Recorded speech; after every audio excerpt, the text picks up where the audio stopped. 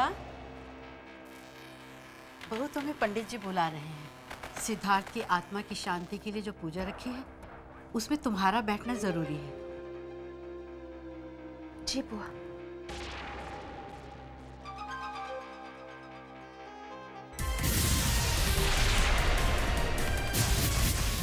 इसकी ज़रूरत नहीं है।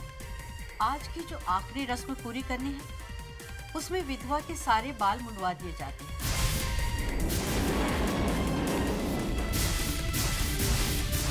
चलो।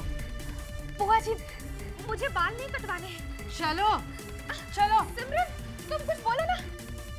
बुआ जी मुझे बाल नहीं कटवाने सिमरन तुम कुछ बोलो ना। बुआ जी मुझे बाल नहीं कटवाने बुआ जी।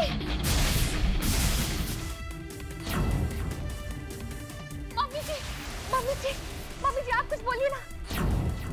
मम्मी जी मम्मी जी प्लीज़ आप कुछ बोलिए। मम्मी जी बैठो यहाँ।